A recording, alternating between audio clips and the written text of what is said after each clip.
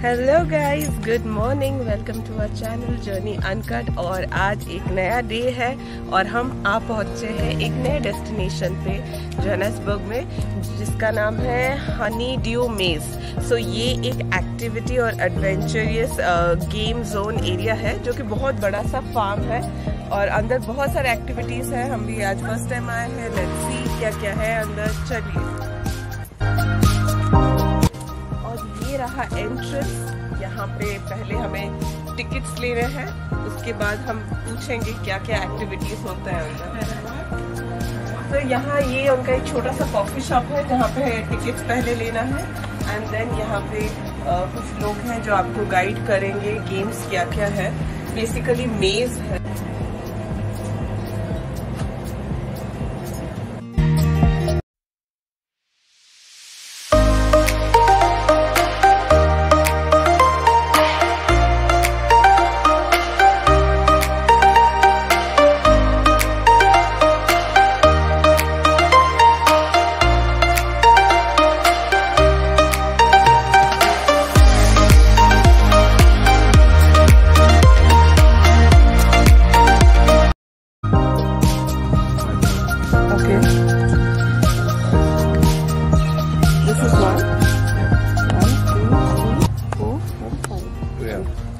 garden.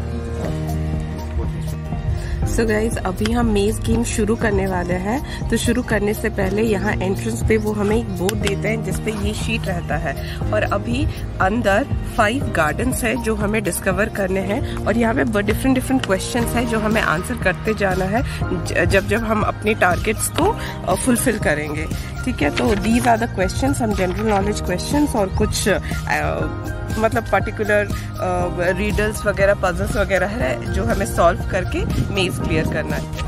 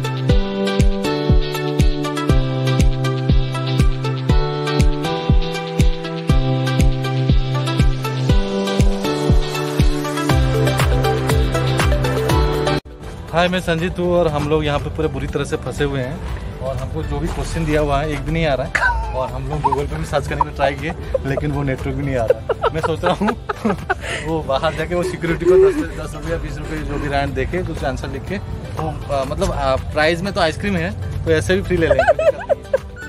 और हम पहुँच गए हैं गार्डन नंबर टू पे। हमें कोई आंसर नहीं आता है। हाँ ये फूल भी कोई पूछ लेगा तो भी नहीं बता पाएँगे। चलो कोई नहीं।